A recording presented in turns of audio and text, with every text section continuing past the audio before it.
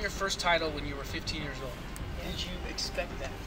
Um, no, I didn't. I actually, so we had, I had to go through a qualifying round and I lost. And they have this thing called lucky loser. So if somebody pulls out, you get in. Whoa. And that's happened. And then I won my first round. And next, you know, is the finals. And then it just happened so Oh fast. God. Yeah, That's kind of crazy. So you had a second chance, basically. Yeah, they call it lucky loser, and like that was the first time in my life that ever happened to me because I'm not really so lucky That's except that time. Oh my God. So that was that was pretty cool. Love that. Yeah, That's great. I wasn't expecting it. So music and acting are such different crafts. So how do you find the ability to invest in both? That's a great question. Um, the balance is hard, as my manager will know behind the camera there. You know, um, time is really the hardest thing to balance. Yeah.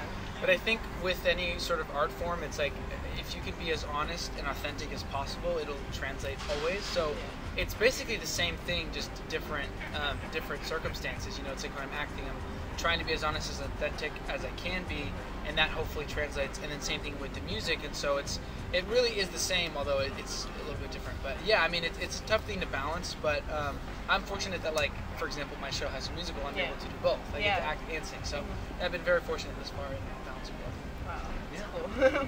I hear you're a big fan of card and board games. What are some of your favorites? Um, I would say the ultimate favorite's Uno. Um, oh, oh my god, you know Spicy Uno? It- oh yeah, the, Oh, unfortunately in our house it caused so many arguments. Yes. I can't imagine how tell me how many times I've left the table or, Oh my God, or yeah, something like that over a Uno game. And I also I also like this game called Crowns. It's like a new thing. I don't know if anybody's heard of it, but it's like kind of like luck and skill at the same time. Ooh, exciting. Yeah, Which seems to be your, your recipe. Yeah, luck and skill. Yeah, it's been working out for me so far. Totally. That's great. So, would you rather win a Tony, Emmy, or a Grammy? Oh, jeez. It depends on what for. I would rather win a Grammy as an artist. Yeah. I would rather win an Emmy as a writer. Mhm. and I would rather win a Tony as I don't know. That, I don't know. Doesn't matter. You win that. all Tony. three, so Tony, to me, honestly, is less less important. No offense to anybody who wants a Tony, but I think Grammy's the answer. Grammy's the way answer. Well, you get all three. Yes, right on. we'll see. EGOT. Here we go. What artists are on your top five Spotify year end playlist? I believe my number one was Jaden Smith, Nice. um, and then I think SZA, Giveon, and the last one was J Cole. Boom. Wow. That's pretty cool. Uh, I guess I have the same question for you. So Oh, your God. your top five Spotify. I don't even know. Honestly, I have no idea. It's I okay. think- You can just make it. Yeah, no, honestly. I didn't know mine either. I just checked quickly before this. Totally. I should have checked, but uh, my best guess is it's uh, Kacey Musgraves, Holly Humberstone, who is just the coolest. I don't know if you've heard. She's very new. She's awesome. Gracie Abrams, Yes. dopest. There's way more that I'm totally blanking on, but um, yeah, I'm, I'm prepared for this question. So moving on. Moving on. Outside of tennis, what are some things that you want to accomplish? I definitely want to get into like fashion. I really, Mm-hmm. really enjoyed it and try to get into more street style wear. And then beyond that, um, just leaving an impact on the world. I, I don't want to be known as just a tennis player. I want to be known as someone who inspired someone to wake up or do something. Um, just feeling proud of themselves. So yeah. Love that. So. um, what kind of legacy do you want to leave with your work? Oh jeez. Pull that Uno reverse. yeah. Uno reverse card. um, you know, I think one leading by example is huge for me. You know, um, putting my money where my mouth is, whether that's literally money or Yeah. like my, you know my time. My my hope is to hold on to the fact that I'm not jaded. You know, I think a lot of people they try and change the world and it maybe doesn't go how they want it to or how they Yeah. assume it should, and they get discouraged and they think it's hopeless. And I Yeah. think holding on to that hope and holding on to like really knowing that you can make a difference and as long as you like continue to persevere and work on yourself you'll actually be helping a lot more people because of that so you know what that looks like i'm not sure yet but something in that yeah, I definitely agree. I feel like one small thing can make a big difference. 100% So. what was the moment in your career when you felt okay i belong I don't know. I still feel like I don't feel like it a lot. Um, did all that because I'm typically the youngest one there all the time, and yeah. Yeah. always the youngest and trying to figure out, I guess, everything going on in a room full of like basically grown women. I'm like, you're a 17 year old me, like Mm. doing homework in between matches and trying to figure out like how to finish high school and everything.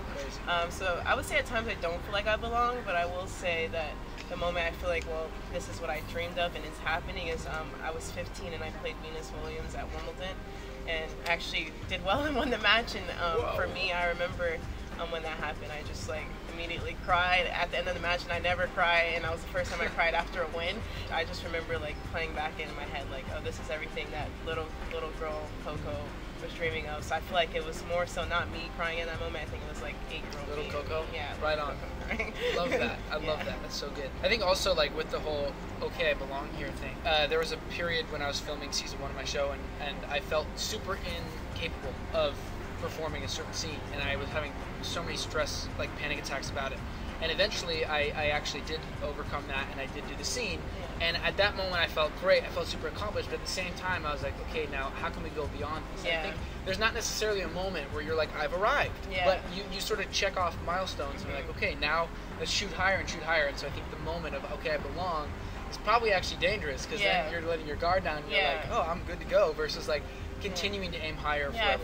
yeah. Like my thing is like I always say dream big, and like for me it's like yeah, you have accomplished one goal, but I'm always like looking next. Like I think it's good we remember to obviously celebrate your little celebrations, course. but you don't want to ever be comfortable. I guess if that makes sense. Yeah. So you always want to be better.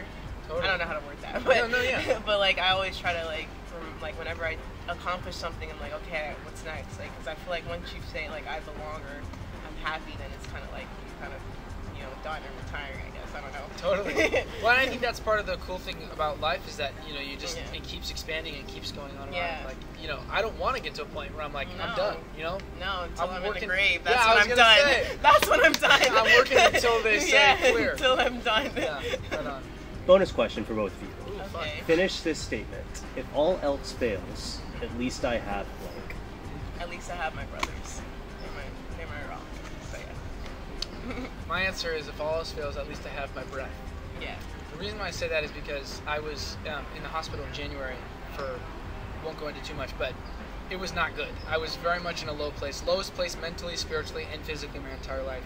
There's a point overnight where my parents couldn't stay, and I was alone, and none of my friends were picking up the phone, and I was just like so, so alone in that moment. And the only thing that got me through that moment was being able to focus my breath, and it gave me that 30% more peace. And so now I know, like, you know, you take away my health, you take away everything, you take away all of that stuff, and at least I can come back to my breath and find peace through that. And to me, that's that's my answer. It's beautiful. I'm Joshua Bassett. And I'm Coco Gauff. Thank you so much, American Eagle, for having us. Thank you.